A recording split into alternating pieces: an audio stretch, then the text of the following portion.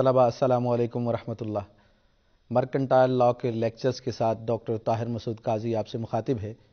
आज हम formation of partnership और कंपनीज़ लॉ के हवाले से पढ़ने जा रहे हैं। तो हम फार्मेशन ऑफ़ पार्टनरशिप को सबसे पहले ले रहे हैं। ये जो पार्टनरशिप का एक्ट है it was adopted in 1932 as a law, which was also adopted by Pakistan in 1947 ये भी 1932 का एक्ट है, जिसे पाकिस्तान ने 1947 में इसे अडॉप्ट कर लिया था। इसके अंदर पार्टनरशिप को डिफाइन किया गया है। इस लॉ के अंदर के पार्टनरशिप होती क्या है? It is a relationship between the person who have agreed to share the profits of a business carried on by all or any one of them acting for all ये दो लोगों का कुछ या कुछ लोगों का आपस में एक ताल्लुक होता है, एक रिलेशनशिप डिवेल्प होता है बिटवीन द पर्सन अशखास के दरमियान who have agreed to carried to share the profits जो इस बात पर मुत्तफिक हो जाते हैं कि वो प्रॉफिट को आपस में शेयर करेंगे। किसका प्रॉफिट को? प्रॉफिट ऑफ़ ए बिज़नेस किसी भी बिज़नेस के प्रॉफिट को आपस में शेयर करेंगे which is carried on by all जो वो तमाम लोग मिलकर करेंगे या उनके बिहाव पर कोई एक शख्स बिज़नेस को कैरी करेगा। लिहाजा इनके दरमियान जो ऐसा ताल्लुक कायम हो जाता है कि वो बिज़नेस के प्रॉफिट को आपस में शेयर करेंगे, इसको कहा जाता है कि ये एक पार्टनरशिप यहाँ पर इनके दरमियान डिवेल्प हो गई है। Person who have entered into a partnership with one another or individually called partners and collectively known as a firm. तो जो लोग आपस में इस तरह की पार्टनरशिप कर लेते हैं और पार्टनरशिप बिज़नेस में चले जाते हैं, उनको इंडिविजुअली इनफरादी तौर पर तो हम उन्हें पार्टनर्स कहेंगे, लेकिन कोलेक्टिवली उन्हें एक फर्म का दर्जा हासिल होता है। In the ordinary business number of partners shall not be exceed from the number of twenty अमूमी तौर पर जो पार्टनरशिप होती है, उसमें अमूमी बिज़नेस के हवाले से इनका नंबर जो है, वो 20 से ज़्यादा नहीं जाना चाहिए इनके मेंबर्स की तादाद। लेकिन in case of banking business they may not exceed than 10 लेकिन अगर बिज़नेस का बैंकिंग का बिज़नेस है तो फिर इनमें उनकी तादाद 10 से ज़्यादा नहीं होनी चाहिए। अमूमी तौर पर पार्टनरशिप में नंबर ऑफ़ पार्टनर्स ट्वेंटी होगी। लेकिन अगर पार्टनरशिप बैंक के हवाले से है, बैंकिंग बिज़नेस है तो फिर उनकी तादाद 10 से एक्सीड नहीं करनी चाहिए। जो एसेंशियल चीज़ें होती हैं, वो क्या हैं?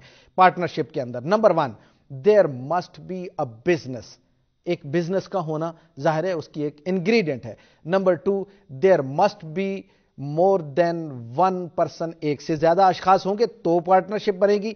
Associated with with the business लेकिन उनका जुड़ा हुआ होना बिज़नेस के साथ चाहिए। But in no case the number of partner shall exceed twenty in case of ordinary partnership business अगर अमूमी पार्टनरशिप बिज़नेस हो रहा है और उनकी पार्टनरशिप डिवेल्प हो रही है तो उसमें उनकी तादाद 20 से ज़्यादा नहीं होनी चाहिए। लेकिन अगर बैंक के हवाले से तो नंबर ऑफ़ पार्टनर्स वो 10 से ज़्यादा नहीं होने चाहिए। Number three there must be an agreement between the partners उनके दरमियान एक मुआहदे का, एक इकरार का पाया जाना भी ज़रूरी होता है। Number four the business must be carried on by all और any one of them on behalf of the all ये इसमें बात यह है कि जितने भी बिज़नेस को चलाने वाले हैं, या तो वो तमाम के तमाम लोग हो सकते हैं, या फिर वो इस बात पर मुत्तफिक हुए हों कि कोई एक शख्स उन तमाम के बिहाव पर यह बिज़नेस जो है, वो चला रहा हो। Number five business must be for earning of profits which must be divided among the partners business को, जो बिज़नेस वो करने जा रहे हैं, वो प्रॉफिट के लिए होना चाहिए। नफे के लिए होना चाहिए, मुनाफे के लिए होना चाहिए, और जिसका प्रॉफिट को वो आपस में पार्टनर्स तकसीम भी करने पर रजामंद हो चुके हों तो ये उसकी एसेंशियल चीज़ों में जाएगी। Different kind of the partners वो कौन कौन से number one is the active partner number two is the sleeping partner number three nominal partner and number four is the quasi partner एक एक को हम लेते हैं कि एक्टिव पार्टनर कौन होता है? One who has capital in the business and takes active part in running the business जिसका शेयर भी होता है, जिसका कैपिटल वहाँ पे शामिल होता है, सरमाया शामिल होता है बिज़नेस में, और फिर एक नुमाया कारकर्दगी जो है, उसका वो इजहार करता है बिज़नेस के अंदर, यानी हिस्सा लेता है।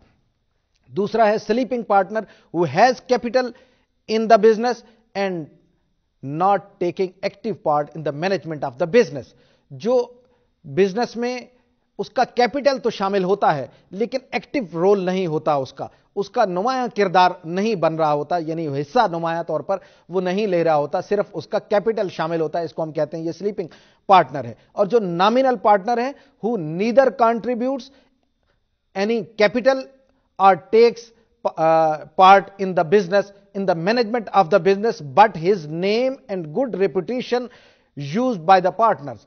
जिसने जो, जिसका कोई शेयर तो शामिल नहीं होता, जिसका कोई कैपिटल तो शामिल नहीं होता बिज़नेस के अंदर और ना ही वो कोई एक्टिव रोल प्ले कर रहा होता है मैनेजमेंट ऑफ़ द बिज़नेस में, लेकिन उसकी जो, उसका नेम है या उसकी जो गुड फेथ है, या गुड रेपुटेशन है, वो बिज़नेस के लिए पार्टनर्स इस्तेमाल कर रहे होते हैं। ये भी एक पार्टनर की सूरत पर, वहाँ पर मौजूद होता है, लेकिन इसको हम नॉमिनल पार्टनर कहते हैं। Number four is the quasi partner who has retired from the business, but his, he left his capital as a loan and receiving interest according the amount of the profit. ये business से तो retire हो चुका होता है लेकिन अपना जो उसका हिस्सा है जो उसका कैपिटल है वो छोड़ जाता है बिज़नेस के अंदर और उससे उसके ऊपर वो इंटरेस्ट लेता रहता है प्रॉफिट प्रॉफिट के हवाले से। इसको हम कहते हैं कि ये कुसाय पार्टनर है। तो चार पार्टनर्स हैं। पहला पार्टनर एक्टिव दूसरा स्लीपिंग तीसरा नॉमिनल और चौथा है quasi partners rights of the partners क्या बनेंगे? जो पार्टनर्स हैं पार्टनरशिप के, उनके आखिर कोई राइट्स भी बनते हैं, उनकी कुछ ड्यूटीज़ भी होती हैं, उनको भी कानून ने एलोकेट कर रखा है, उनको डिटरमिन कर रखा है। पहली बात यह है कि राइट्स में to take part in the management उनका राइट है कि अगर वो एक्टिव पार्ट लेना चाहें, हिस्सा लेना चाहें तो मैनेजमेंट के अंदर उनका एक रोल बनता है। टू बी कंसल्टेड उनको कंसल्ट किया जाएगा बिज़नेस के हवाले से, ये उनका राइट है। नंबर तीन ऑफ़ एक्सेस टू अकाउंट्स उनका यह भी राइट है कि वो जितने भी अकाउंट्स हैं, उन तक वो एक्सेस ले सकें। Number four to share profits जितना भी प्रॉफिट है, उस प्रॉफिट के अंदर उनका शेयर बनता है अकॉर्डिंग टू देयर कैपिटल जितना भी उन्होंने पोर्शन ऑफ़ द कैपिटल जितना भी पोर्शन उन्होंने दिया है कैपिटल के अंदर, उसके मुताबिक वो प्रॉफिट लेने के हकदार हैं शेयर लेने के हकदार हैं। टू इंडेमनीफाई अगर उनको कोई नुकसान हुआ है तो उसकी उनको तलाफी भी की जाए, ये भी उनका राइट है। Joint owner of the partnership property जो प्रॉपर्टी है पार्टनरशिप प्रॉपर्टी है, उसके अंदर वो मुश्तरक मालिकान का राइट वो रखते हैं। और फिर उनके पास पावर्स इन एन एमरजेंसी उनके पास एमरजेंसी की सूरत में पावर भी मौजूद होती है कि वो बिज़नेस के हवाले से फौरी तौर पर कोई डिसीज़न ले, ले सकें। ये पार्टनर्स का राइट है। मिसाल के तौर पर कि अगर किसी पार्टनरशिप प्रॉपर्टी को जो है वो आग लग जाती है तो उस वक्त फौरी तौर पर एमरजेंसी की सूरत में अगर वो कोई डिसीज़न लेना चाहें तो दे कैन उनके पास ये राइट है कि वो वहाँ पर डिसीज़न ले सकते हैं। Number next no liability before joining अगर जब तक उन्होंने बिज़नेस ज्वाइन नहीं किया, उस पार्टनरशिप को ज्वाइन नहीं किया तो उनके ऊपर कोई लाइबिलिटी भी जो है, इससे पहले की अगर कोई लाइबिलिटी है तो उनके ऊपर इंपोज वो नहीं की जा सकती, जब तक कि वो खुद एग्री ना कर कर रहे हो और उस पार्टनरशिप में शामिल हो रहे हो। राइट टू रिटायर किसी वक्त भी वो चाहें तो रिटायर हो सकते हैं। उनके पास ये भी राइट है कि नॉट टू बी एक्सपेल्ड उनको बिज़नेस से एक्सपेल नहीं किया जा सकता, निकाल आप इस तौर पर नहीं कर सकते।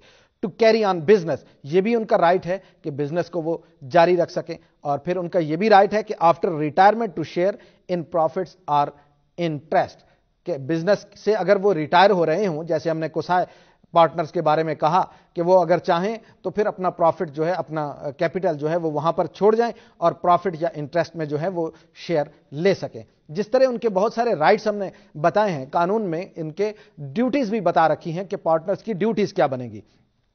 एक ड्यूटी तो उनकी यह है कि वर्क फॉर कॉमन एडवांटेज कि जो बिज़नेस जितने भी पार्टनर्स हैं और जितना भी बिज़नेस है, उसके हवाले से वो अपना काम जो है वो करेंगे। उनके जिम्मा जो भी काम बनता है, वो काम करने के वो जिम्मेदार हैं। They are liable to work for the common advantages और फिर ये भी है कि be faithful to the business or the partners जितने उनके पार्टनर्स हैं और जितने उनका, जितना उनका बिज़नेस है, उसके साथ उन्हें फेथफुल भी होना है। रेंडर ट्रू अकाउंट्स उनकी यह भी ड्यूटी है कि जब भी उनसे कोई हिसाब मांगा जाए, उनके पास कोई हिसाब है तो फिर वो एक अकाउंट देने के, हिसाब देने के जिम्मेदार हैं। Give full information it is duty of the partner to give full information उनको जो है, ये भी उनकी ड्यूटी है कि उनको जो मालूम हैं, वो तमाम की तमाम फराहम करें वो।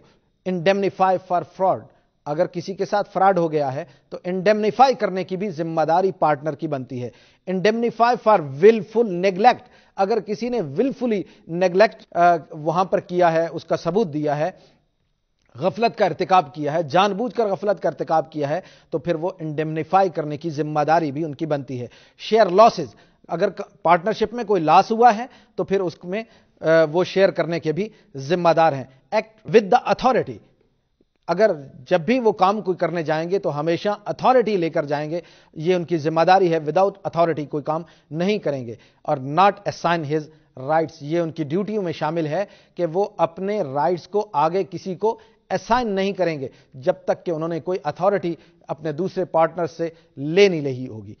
कैपिटल ऑफ़ द पार्टनर अब हम जा रहे हैं पार्टनर्स की ड्यूटीज़ राइट्स के बाद कैपिटल ऑफ़ द पार्टनर जो एक बुनियादी इंग्रेडिएंट है इस पार्टनरशिप के अंदर, कि कैपिटल ऑफ़ द पार्टनर क्या होता है? Partners may bring capital in equal or as stated proportion as decided in the deed partners जो हैं, वो अपना कैपिटल, अपना सरमाया जो होता है, वो या तो बराबर सूरत में लगाएँगे, जितने भी पार्टनर्स हैं, या फिर अगर उन्होंने एक प्रोपोर्शन एक रेशो जो है, एक हिस्सा जो है, वो तय कर रखा है डीड के अंदर। कहाँ, कौन सी डीड के अंदर? जो पार्टनरशिप डीड है, उसके अंदर उन्होंने अगर तय कर रखा है तो उसको कैपिटल ऑफ़ द पार्टनर कहेंगे। प्रोपोर्शन ऑफ़ द जो कैपिटल है may be altered by mutual consent of the partners such consent may be expressed और मे बी इंप्लाइड ये जो कैपिटल है, इसके अंदर कोई भी तब्दीली पार्टनर्स करने के मजाज हो सकते हैं, लेकिन with the consent of the other partners जितने दूसरे पार्टनर्स हैं, उनकी मर्ज़ी के मुताबिक होगी। उनसे जब तक तय नहीं करेंगे, तब तक आप उसमें तब्दीली करने के मजाज नहीं होंगे। लेकिन ये जो कॉन्सेंट है it's it may be express और मे बी इंप्लाइड ये सरी भी हो सकती है, वाजे अल्फाज की सूरत में भी हो सकती है और इंप्लाइडली भी हो सकती है कि उन्होंने मानवी तौर पर इसकी इजाज़त दे रखी हो। अब ये जो distribution of the profit and losses होता है पार्टनर्स का, इसमें क्या रोल बनता है? Partnership deed will determine the ratios of the profit and losses partnership जब बनती है तो उनके, उसके उसके लिए एक दस्तावेज़ तैयार की जाती है। वो पार्टनरशिप डीड जो है, वो डिसाइड करेगी ratios of the profits and the losses. जितने भी प्रॉफिट्स हैं और जितने भी लॉस हो रहे हैं, जितने भी नुकसान हो रहे हैं, उनकी रेशो को वो तय करती है। In absence of any agreement, the partners will share profits and losses equally. अगर कोई दस्तावेज़, यानी ऐसा एग्रीमेंट वहाँ पर तहरीरी सूरत में उनके मौजूद नहीं है तो फिर वो इक्वली डिस्ट्रीब्यूशन होगी प्रॉफिट्स के अंदर भी और लॉसेस के अंदर भी. But in case of unequalness of the capital skill and taking part of the activeness the partners will themselves decide about the equitable mode of sharing of profits and losses लेकिन अगर अनइक्वलेंसी है, उनके capital shares के अंदर कि जितना भी उन्होंने सरमाया लगाया हुआ है, वो बराबर नहीं है और एग्रीमेंट भी नहीं पाया जा रहा तो इसके हवाले से फिर खुद जितने भी पार्टनर्स हैं, वो ये तय करेंगे कि किसी का कितना स्किल बन रहा है, कितना किसी ने रोल एक्टिव पार्ट जो है वो उसका बन रहा है। तो पार्टनर्स खुद इस बात को तय करेंगे कि इक्विटेबल मोड जो है of sharing of profits and losses क्या होगा कि उनके दरमियान वो कैसे तकसीम किया जाएगा? इस तरीकेकार के बारे में खुद पार्टनर्स ने तय करना होता है। अज़ीज़ तलबा, ये तो थी पार्टनरशिप के हवाले से। दूसरी चीज़ है कंपनीज़ तो इसमें पहली चीज़ हम लेने जा रहे हैं कि कंपनी होती क्या है। एक कंपनी के बारे में कहा गया कि एक company is an artificial but a legal personality company जो होती है, वो एक मसनू शख्सियत तो है, लेकिन कानूनी शख्सियत के तौर पर एक वजूद रखती है एग्जिस्टेंस रखती है। It has certain qualities attributed to human person इसके साथ बहुत सारी ऐसी चीज़ें हैं जो आम इंसान के साथ जुड़ी होती है। दैट इज़ मिसाल के तौर पे हम ले लें कि it can own property company property जो है वो उसकी मिल्कियत को रख सकती है। Sue and can be sued in its own name company के खिलाफ दावा भी किया जा सकता है। कंपनी खुद अपने नाम से दावा, दावेदार हो भी सकती है। तो लिहाजा एक आम शख्स भी ऐसे कर सकता है और कंपनी भी ऐसा कर सकती है। जो ये ह्यूमन पर्सनैलिटीज के साथ ये चीज़ें जो एट्रीब्यूट करती हैं, यही चीज़ें यहाँ पर कंपनी के साथ भी रिलेट कर रही हैं। Generally it can carry on activities through its officers and agents अमूमी तौर पर यह अपने बिज़नेस को अपने मामलात को अपनी एक्टिविटीज़ को चलाती है अपने ऑफिसर्स के हवाले से या अपने एजेंट्स के रेफरेंस से। Being a creature of statute the scope of its activities is limited by the constitution and governing act कि जो इसका ये, ये चूँकि एक लीगल स्टेचू के तौर पर वजूद में आई हुई होती है एक कानूनी शख्सियत रखती है, लिहाजा इसका जो स्कोप है, वो उसकी एक्टिविटीज़ जो हैं, वो लिमिटेड कर दी जाती हैं कहाँ पर? By the by its constitution जहाँ पर जिस कानून के तहत ये बनाई गई है, उसके तहत ही इसकी सरगर्मियों को महदूद किया जा सकता है या एक्सपेंड किया जा सकता है, या इसका जो गवर्निंग एक्ट है, वो इसको एक्सपेंड या इसको लिमिट कर रहा होता है। A company and partnership both have a common characteristics हर एक कंपनी और पार्टनरशिप के अंदर कुछ कैरेक्टरिस्टिक्स जो हैं वो कुछ खसूसियात कॉमन पाई जाती हैं, मुश्तरक पाई जा रही होती हैं। That they car carry carry on business दोनों जो है वो बिज़नेस कर रहे होते हैं। किसके लिए? For profits but there is a lot of differences between them इस कैरेक्टरिस्टिक्स के हवाले से कि वो कैरी ऑन बिज़नेस करें फॉर प्रॉफिट्स इसके हवाले से तो दोनों मुश्तरक हैं, दोनों में ये चीज़ कामन पाई जा रही है। लेकिन इनके अंदर बहुत सारे डिफरेंसेस भी पाए जा रहे हैं, बहुत सारे इख्तलाफात भी मौजूद हैं, मिसाल के तौर पर हम ये कहें कि कंपनी जो है created and governed by the companies ordinance 1984 1984 का जो ऑर्डिनेंस है कंपनीज़ ऑर्डिनेंस उसके तहत कंपनी वजूद में आती है। लेकिन जो पार्टनरशिप होती है created and governed either by an agreement or by the operation of law कि इन दोनों पार्टनर्स ने खुद एक एग्रीमेंट कर लिया होता है और उसके तहत वो पार्टनरशिप वजूद में आती है या किसी ऑपरेशन ऑफ़ लॉ के तहत, यानी किसी कानून की तनफीज के हवाले से, किसी कानून की अमलदारी के हवाले से पार्टनरशिप वजूद में आए तो ऐसा भी मुमकिन है। लेकिन कंपनीज़ हमेशा 1984 के कंपनीज़ ऑर्डिनेंस के तहत पाकिस्तान में वजूद में आती है। फिर कंपनीज़ का यह है कि has a legal entity distinct from members members of the company इसका एक अपना वजूद होता है, कंपनी का अपनी एक लीगल एंटिटी है, अपनी एक कानूनी शनाख्त है, जो मुख्तलिफ़ है उनके अपने मेंबरान से हटकर। लेकिन जो पार्टनरशिप है it is not a legal entity ये कानूनी शख्सियत नहीं होती पार्टनरशिप। कंपनी कानूनी शख्सियत है, पार्टनरशिप कानूनी शख्सियत नहीं है। एक company must keep proper books of accounts under the companies ordinance 1984 companies जो होती हैं वो पाबंद हैं इस बात के कि अपने अकाउंट का अपने अकाउंट्स की जो किताबें हैं उनका आ, उनका भरपूर उनको तैयारी करे और उनको बरकरार रखे उनको स्टैब्लिश रखे। लेकिन कहाँ पर कैसे? 1984 के जो ऑर्डिनेंस है उसके तहत ये पाबंद है। But in partnership there is no statutory provision requiring partnership to do so लेकिन पार्टनरशिप के हवाले से ऐसा कोई कानून मौजूद नहीं है कि वो अपनी किताबें जो हैं अकाउंट्स की, खातों की, वो बनाकर तैयार करें।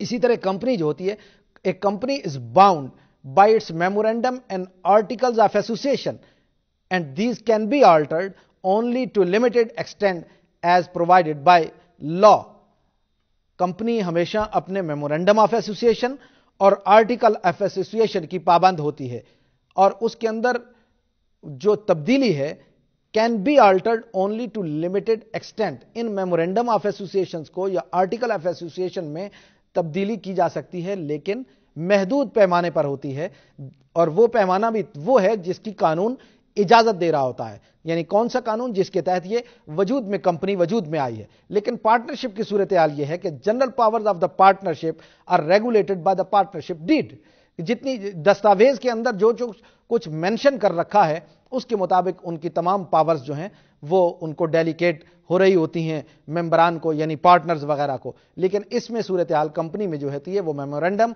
और आर्टिकल ऑफ़ एसोसिएशन के तहत जा रही होती हैं। कंपनीज़ में एक और चीज़ companies existence can be brought to an end only by being dissolved by an order of court number two wound up in a legal manner. Number three, its name being struck off by the registrar. Companies की जो existence है उसको आप अख्ताम तक ले जा सकते हैं कैसे पहली बात तो यह है कि उसे डिजॉल्व कर रहे हो by an order of the court कानून अदालत की हुक्म के तहत उसको डिजॉल्व कर रहे हो या उसको आप वाउंड अप कर रहे हो उसको खत्म कर रहे हो इन अ लीगल मैनर जो कानूनी तरीका बताया गया है या फिर यह है कि उसको स्ट्रक ऑफ़ कर दिया हो रजिस्ट्रार ऑफ़ द कंपनीज़ ने उसके अपनी लिस्ट के ऊपर से। तो इन तीन तरीकों से यह खत्म हो सकती है। लेकिन partnership can be brought to an end by an agreement at any time जब भी पार्टनर्स मुतफिक हो जाएँ, उस वक्त उसका इख्तिताम मुमकिन है। लेकिन जो कंपनीज़ हैं, उसके अंदर ये तीन प्रोसेस होंगे, यानी by an order of the court होगा, या आप उसको लीगल मैनर के ज़रिए वाउंड अप कर रहे हो, या फिर यह है कि उसको कंपनीज़ का जो रजिस्ट्रार हैं, उन्होंने उसको अपनी लिस्ट से स्ट्रक ऑफ़ कर दिया हो। अब यह तो हमने देखा कि कंपनीज़ और पार्टनरशिप का डिफरेंस लिमिटेड आपने सुना होगा कि पब्लिक कंपनीज़ और प्राइवेट कंपनीज़ भी पाई जा रही हैं। तो इनके दरमियान क्या फ़र्क होता है? पब्लिक कंपनी क्या होगी और प्राइवेट कंपनी के कैरेक्टरिस्टिक्स में क्या फ़र्क बनता है? पब्लिक कंपनी जो होती है must have at least seven members उसके लाजमी तौर पर कम अज कम सात मेंबरान का पब्लिक कंपनी में पाया जाना ज़रूरी होता है। लेकिन प्राइवेट कंपनी जो है must have at least two members उसमें दो लोग पाए जाते हैं। कम अज कम दो लोगों का वजूद बहुत ज़रूरी होता है प्राइवेट कंपनी में। इसी तरह पब्लिक कंपनी में maximum number limited by the number of shares issued जितने नंबर ऑफ़ शेयर जो हैं, वो इशू हो चुके हैं, उसके मुताबिक इनकी मैक्सिमम तादाद मेंबरान की बन सकती है। लेकिन जो प्राइवेट कंपनी है maximum number of members is 50 वहाँ पर 50 की तादाद बनती है प्राइवेट कंपनीज़ में। और public company can not allot its shares unless minimum subscription has been received ये एक रिस्ट्रिक्शन है पब्लिक कंपनी के ऊपर कि अगर मिनिमम सब्सक्रिप्शन एक बता दी गई है कि जब तक वो नहीं होगी, तब तक शेयर्स को अलाट नहीं किया जाएगा। ये उसके अंदर पाबंदी है। लेकिन जो प्राइवेट कंपनी है आफ्टर इट्स इनकॉर्पोरेशन में अलाट शेयर्स जो ही वो कंपनी बनी, दो अशखास वजूद में आए, उन्होंने एक कंपनी बनाई तो अपने शेयर्स को अलाट करने का वो आ, आ, करने के मजाज हैं कि दूसरे लोगों को यानी ये लाजमी नहीं है कि वो 50 तक उनकी तादाद जाएगी तो अपने शेयर्स को जो है वो अलाट करेंगे। उससे पहले भी जो ही इनकारपोरेट हुई है कंपनी उसी वक्त वो शेयर्स अलाट करने के मजाज हैं। लेकिन पब्लिक कंपनी की सूरत में ऐसा मुमकिन नहीं है। ये सिर्फ़ प्राइवेट सूरत में मौजूद थी। पब्लिक कंपनी में वो तब तक अपने शेयर्स को अलाट नहीं कर सकते जब तक मिनिमम सब्सक्रिप्शन उनको हासिल नहीं हो जाती। पब्लिक कंपनी में एक और चीज़ है कि without issuance of certificate of commencement can not commence business और बारो मनी जब तक रजिस्ट्रार ऑफ़ द कंपनी से उन्हें सर्टिफिकेट नहीं मिलता सर्टिफिकेट ऑफ़ कमेंसमेंट यानी बिज़नेस शुरू करने का सर्टिफिकेट उन्हें नहीं मिलता, तब तक न तो वो बिज़नेस शुरू कर सकते हैं और न ही उस बिज़नेस के हवाले से रकम उधार ले सकते हैं या दे सकते हैं। लेकिन प्राइवेट कंपनीज़ जो होती हैं can commence business immediately after its incorporation and can borrow the money ये जो प्राइवेट कंपनी होती है, फौरी तौर पर जो ही इनकारपोरेट हुई है, जो ही ये बनी है, उसके फ़ौरन बाद ये अपना बिज़नेस भी शुरू कर सकते हैं और रकम भी उधार ले सकते हैं। लेकिन इसी तरह पब्लिक कंपनी में required to hold statutory meeting and to file reports public company में यह एक लीगल रिस्पॉन्सिबिलिटी है यह कानूनी ज़िम्मेदारी बनती है कि एक स्टेचुटरी मीटिंग भी हो और कानून के मुताबिक जो उनकी मीटिंग्स होनी है डायरेक्टर्स की या मेंबरान्स की तो उनकी मीटिंग्स भी हों और फिर उसकी रिपोर्ट्स भी जो है वो भी फ़ाइल की जाए।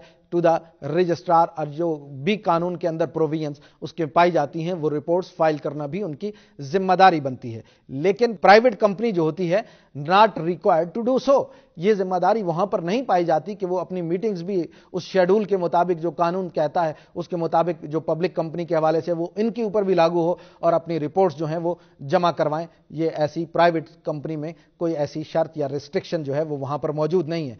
पब्लिक कंपनी में एक और चीज़ बहुत अहम है कि not necessary to impose restriction on transfer of shares आप अपने शेयर्स को किसी और को अगर ट्रांसफ़र करना चाहें तो इसके ऊपर not necessary to impose restrictions उसके ऊपर यह ज़रूरी नहीं है कि वो अपने शेयर्स को मुंतकिल करने के हवाले से उनके ऊपर आप कोई पाबंदी लगा दें। लेकिन प्राइवेट कंपनी में यह पाबंदी है। Must impose restrictions on transfer of shares कि वो ज़रूरी है वहाँ पर कि ये पाबंदी लगाई जाए कि अपने शेयर्स को वो ट्रांसफ़र नहीं करेंगे। और फिर एक पब्लिक कंपनी में ये सूरत हाल भी है कि must have at least seven directors और जो प्राइवेट कंपनी है must have at least two directors एक में सात पाए जाते हैं डायरेक्टर्स का पाया जाना ज़रूरी है और दूसरों में दो का पाया जाना ज़रूरी है, जैसे उनके मेम्बरान के हवाले से। या नोटेबल अज़ीज़ तलबा यह चीज़ है कि a public company can be converted into private company and private company can be can be converted into a public company by suitable alteration लिहाजा एक पब्लिक कंपनी कन्वर्ट हो सकती है और प्राइवेट कंपनी जो है दूसरे, एक दूसरे की फॉर्म में आ सकती है। अब एक चीज़ बहुत अहम जो है, उसकी तरफ़ हम जा रहे हैं कि मेमोरेंडम ऑफ़ एसोसिएशन और आर्टिकल ऑफ़ एसोसिएशन क्या होता है। बहुत स्लाइड सा डिफरेंस और बड़ा इंपॉर्टेंट डिफरेंस यह है कि मेमोरेंडम ऑफ़ एसोसिएशन जो होता है it is a charter of the company which defines the limitation of its powers कि ये एक चार्टर होता है कंपनी का, जो उनकी हदूद को मुतन कर रहा होता है और पावर्स को जो है अख्तियार को जो है, वो मुतन कर रहा होता है। It regulates the company's external affairs memorandum of association जो होता है, वो कंपनी के बैरूनी उमूर को रेगुलेट करने के लिए होता है। और memorandum of association must be printed and subscribed by seven or more person और in case of private company two or more तो लिहाजा उसके ऊपर एक तो प्रिंट होना चाहिए मेमोरेंडम ऑफ़ एसोसिएशन, उसके ऊपर साइन होने चाहिए। उनके तमाम डायरेक्टर्स के अगर वो प्राइवेट कंपनी है तो उसके ऊपर दो लोगों के साइन होने चाहिए, और अगर पब्लिक कंपनी है तो फिर उसमें सात लोगों के होने ज़रूरी है। दूसरी चीज़ है article of association. It is a document regulating the rights of the members of the company. Members of the company जो है, उनके राइट्स को रेगुलेट कर रही होती है, and in, and the manner in which the business of the company shall be conducted वो उस तरीकेकार को भी बता रही होती है कि बिज़नेस जो है वो कैसे कंडक्ट किया जा रहा होता है। Article of association regulates internal affairs of the company दोनों में फ़र्क यह है। मेमोरेंडम ऑफ़ एसोसिएशन और आर्टिकल ऑफ़ एसोसिएशन में कि मेमोरेंडम जो होता है, वो external affair of the company को रेगुलेट कर रहा होता है और आर्टिकल ऑफ़ एसोसिएशन जो होता है, वो internal affair of the companies को रेगुलेट कर रहा होता है। Article of association are subsidiary to the memorandum of association बहुत आम बात यह होती है कि मेमोरेंडम ऑफ़ एसोसिएशन का एक जैली हिस्सा के तौर पर आर्टिकल ऑफ़ एसोसिएशन वहाँ पर मौजूद होता है। तो दोनों में फ़र्क यह है कि एक एक्सटर्नल बैरूनी मामलात को कंपनी को डील करता है और दूसरा अंदरूनी मामलात को डील करता है। पहले के अंदर हमने बताया कि उनके जो कंपनीज़ के प्रिंटेड फॉर्म में होना चाहिए और उसके ऊपर उसके डायरेक्टर्स के और मेम्बरान के दस्तखत होते हैं और दूसरा जो होता है आर्टिकल ऑफ़ एसोसिएशन वो सब्सिडरी होता है to the memorandum of association अज़ीज़ तलबा, इसी के साथ आज का हमारा लेक्चर खत्म होता है। अगले लेक्चर